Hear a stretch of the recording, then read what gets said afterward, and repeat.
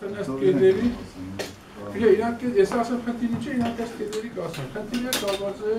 էլեկտրոնային առողջապահական համակարգի ներդրման հետ, որ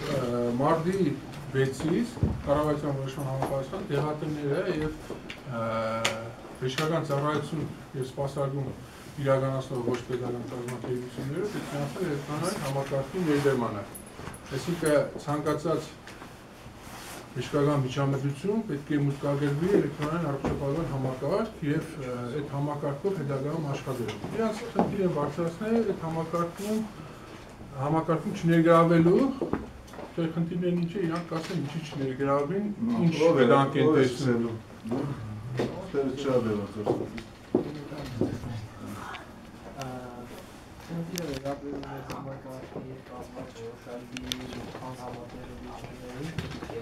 Անհամատեղելիությունների եւ աշխատանքային պայմանների հետ։ Դա անհամատեղելիություններից մեկը ու ամենակարևորն է պրակտիկայում այն որ աչքի չեն առնվել ստոմատոլոգիական պրակտիկայում իրավու որոշակի աշխատանքային իրավիճակներ այս համակարգից օգտվելու համար։ օրինակ կարող եմ ասել, որ սուր ցավով եւ սուր առողջական խնդիր ունեցող մարդը դիմում է, մենք այդ մարդուն ստիպված ենք այս համակարգի արդյունքները չներգրավելու կամ եթե ինտերնետ կապչում ենք օրինակի համար մենք չենք կարող մենապետանել լուսանը եւ չենք կարող որևէ միջամտություն Ինչպես նաև տեղատոմ։ Ինչպես նաև տեղատոմ, ցենտրադրենք պետք է անտիբիոտիկ։ Մարդուն էլի ինտերնետ կապչի բարակայում մենք ստիպված ենք այդ մարդուն հետ ճանաչել։ Հացի դրանից որոշակի խավեկը հրաժարվում են տալիս ինֆորմացիա կա, կամ ID քարտերը ներանուց հրաժարված կա կոնկրետ։ Ու մարդիկ էլ կան ընդհանրապես հրաժարվում են, ասում ես չեմ ուզում որ իմ մասին, առողջության մասին ինֆորմացիա տեղադրվի մանավանդ ոչ պետական մեր կայք։ Նա բայց դե անհազգանն չի։ Օնլայն ծրագիրը իրական Ես ես ոչ հասցրի ահաբեկելու պահն է շատ կարևոր, պարոն Մարզուս։ Զանգել եմ, ես իմ ով է։ Այդ կազմակերպության կայքը որ մտնում եք։ Հա, փոխ Մարզուս, ներողություն, հա։ Բան, այդ իրանց կազմակերպության կայքը որ մտնում եք, ոչ մի ինֆորմացիա չկա ով են իրանք։ Այդ տագը ինչ որ միջազգային մի քանի կազմակերպության անուն կա։ Եվ իրանք հերիք չեմ մի հատ նամակ են գրել այս մարկաս, մի հատ էլ ահաբեկում են որ լիցենզիայից կզրկեին։ Կտուգանենք, էս կենենք, են կենենք։ Ով են իրենք, որ այդ գործառույթը իրանց վրա են վերցրել։ Մի հատ ճշտեք էլի անպայման։ Ես ես ասեմ, բանին հետ համաձայն եմ, այդ խնդիրը որ բայց կարծեմ նախարարությունից է, Զուլյանից է եկել նամակը, ոչ իրանից։ Չէ, այդ Ամենատեղես հա կայքից է եկել նամակը, այդ հարցը բարձրացնենք, բայց բերեք համակարգ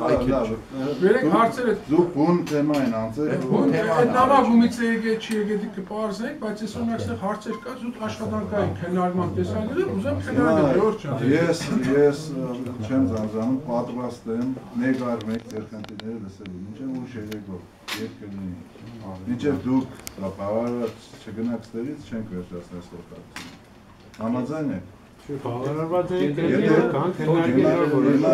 Եթե կան խնդիրներ, որոնք կարող եք դուք ներկայացնել, ներկայացրեք, խնդրեմ։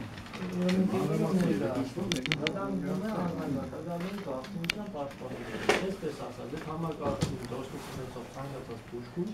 կարող է անձի ստացված օպերատորը ոչ սոցդատամենը պետք է անձի սոց հանրային ծառայության համարանիշը համակարգում մոտ կանելու պարագամ ես ինքս ուրիշ համակարգում դա փորձել այսինքն գրանցված մեկի մոտ փորձել եմ որ սոց սոց քարտի հետ կոդով կարող եք տեսնել այդ մարդը երբ է դիմել բժշկի, ինչի է դիմել Ինչ մասնագետի է։ ինչ մասնագետից ունեն, ինչ խնդիր ունեցել։ Մեր պրոֆիլով կան ընտանիքներ, որտեղ որ կինը կրում է պրոթեզներ, իսկ ամուսինը դրանից տեղյակ չի։ Կան այդպիսի կոնստրուկցիաների տեսակներ, որոնք պրոթեզներ են, բայց այնպես է պատրաստվում, որ չի երևում, որ դա սնշասած շարժական կոնստրուկցիա է։ Նման խնդիրը նույնպես կարող է, ասենց ասած, ընտանիք քանդվելու պատճառ դառնալ։ Որպես օրինակ, դա ներկայացնում։ Հետո ամեն ստամատոլոգիան ինքը որպես ստրուկտուրա համարվում է մասնավոր բիզնես հիմնականում մեր որ պարտադրում ենք պետք է մենք այդ համակարգը ամեն մեկից մենք ունենք մեր հաջախորդների մեր պացիենտների բազա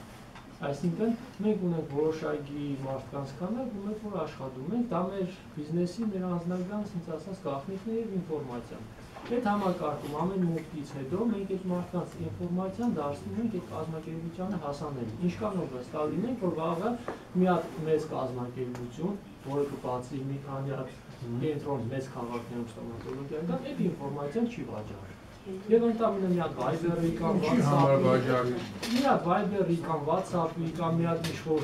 բանի ռասիլկայի, ով SMS-ն է ռասիլկա, մենք դրանց ծավալը մեր պացիենտներին դողանքի։ Պատրաստի հիվանդների ինչ պայման Որպես հիվանդ, եթե մեկին գնա ավելի շահավետ, ավելի, ասենց ասած, հարմարավետ պատրաստված, ավելի ասեն բարձր մրցունակություն ապահովող մասնավոր կլինիկա, իրանք կարող են մտածել այդ հատվածում բուժվել։ Մենք էլի դեր չենք, բայց նման ձևով մեր ինֆորմացիա կունենան եւ հեռախոս սահմանները կամ մեյլերը օգտագործեն իրենց կողմը ներգրավելու համար, դա արդեն ոչ ազատ մրցակցային գոտի է։ Ուրիշ ազգային անվտանգության տեսակետից, ուրեմն այդ համակարգին ինքը բրաուզերից կապված, այսինքն համակարգչի մեջ նստող ծրագիր չի, բրաուզերից կապված, ոնց որ Facebook ենք բացում, ոնց որ ցանկացած բացում ենք, կապված ծրագիր է, այսինքն երկու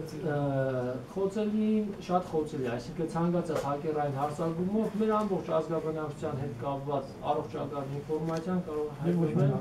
MVC ձեռքերում, հա, առողջական հեռախոսահամարները, հասցեները, տվյալները, ընդամենը այդպեսով կարող են դրսից իմանալ մեր իրական ազգաբնակության քանակը կամ այդ ամեն շարժը։ Դրանից բացի ինքը բրաուզերից կապված համակարգ լինելով օրվա ժամերը լինում լինում է ահա որ ծանրաբեռնված կախում է համակարգը չի աշխատում։ Միշտ էլ արդեն գիտես որ կրախում է չի աշխատում։ հա առնչվել է, որովհետև զրուցել են պոլիկլինիկաներում, որտեղ որ արդեն ներդրված է մեկ տարի այդ համակարգը, Պետ պատվերի շրջանում։ Պետ պատվեր։ Պետ պատվերի շրջանում։ Մարդիկ ասում են ահա, մեծ հաջողություն է, որ բռնացնում ենք այս ժամին համակարգը, լրված չի, կախված չի, նորմալ աշխատում։ Այդ իր խոցելիության եւ անհարմարության տեսակետից։